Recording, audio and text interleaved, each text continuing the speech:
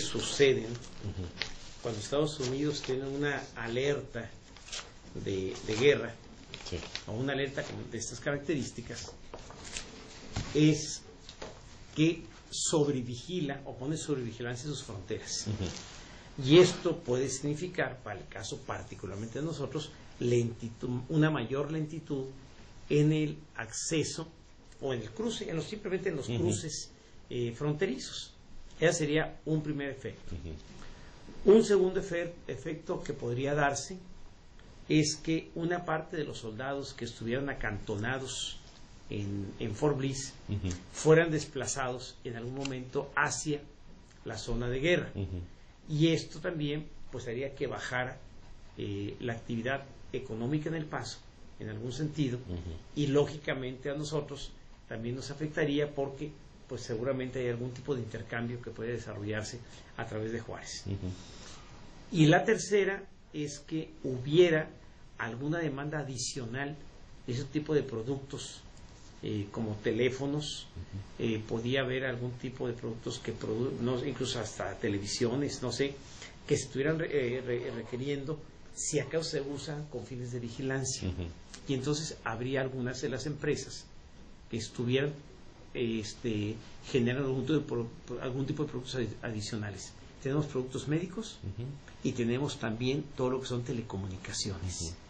Y hemos visto que en condiciones, por ejemplo, de desastre, eh, aumenta los requerimientos en, el área médica, pero en épocas de guerra aumenta mucho más. ¿no? Y lo mismo sucede con las telecomunicaciones. Entonces eso podría incrementar los pedidos de empresas que lo manufacturan. Podría ser un para mantenerlos, este, eh, si bien tiene ya una reserva, que pudiese acreditarse la reserva por una situación como la que están presentando. Y a nivel internacional, en la economía en general, ¿qué, qué efectos podría...? Bueno, ahí lo que podría pasar es que hubiera algún grupo de países que buscaran aliarse eh, contra Corea del Sur, pero a su vez Corea del Sur tener también aliados, y que esto genere, esperemos que no, una situación de, de, guerra realmente, y entonces pues, normalmente este tipo de economías eh, que se dan suelen estimular la economía porque se demandan uniformes, se demanda balas, se demandan armas, se demanda todo, productos médicos, se manda todo para la guerra.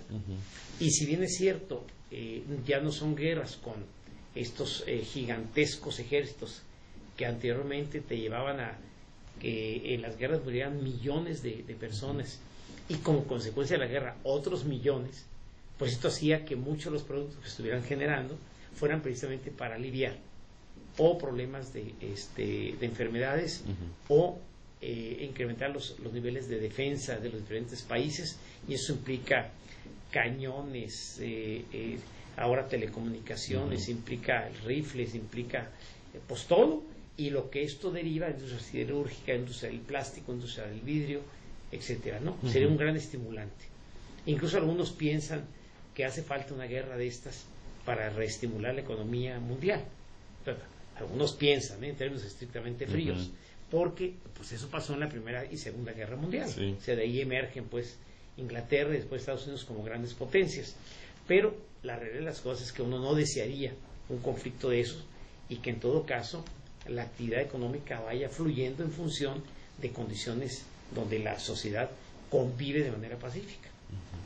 En, caso de los combustibles, ¿también no, afectaría, por ejemplo? Si eh, Sí, ahí hay una parte eh, importante porque habría una sobredemanda a corto plazo de combustibles que tienen que utilizar para las naves, este, todo lo que son este, los barcos, todo lo que son el traslado de víveres, el traslado de armas, el traslado de todo, y lógicamente aumenta el nivel de, eh, eh, aumenta la demanda de este tipo de combustibles y no solamente para resolver el problema de corto plazo, sino como reservas adicionales ante situaciones de alargamiento de un, de un conflicto de un conflicto bélico.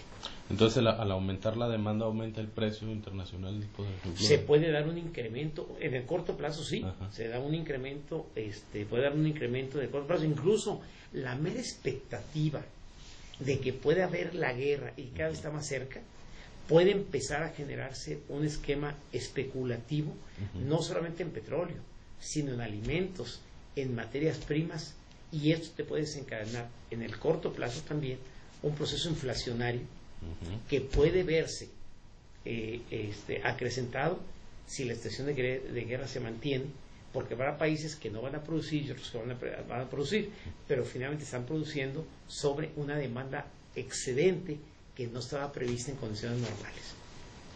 Y esto puede suceder. y con el aumento del petróleo, pues aumenta el precio a nivel internacional. no, y te aumentan las gasolinas, y te aumenta la electricidad, y te aumenta el agua, y te aumenta todo, porque todo está movido finalmente por hidrocarburos. Y entonces no hemos logrado resarcirnos de esa, de, esa energía, a pesar de que se han hecho esfuerzos en México todavía no importantes en lo que es eh, energía eólica, energía eléctrica, energía hidráulica, este, energía solar. Nos faltan muchos años para llegar a esto. Entonces, el petróleo sigue siendo un factor fundamental, incluso hasta de equilibrio internacional, para este tipo de situaciones de guerra.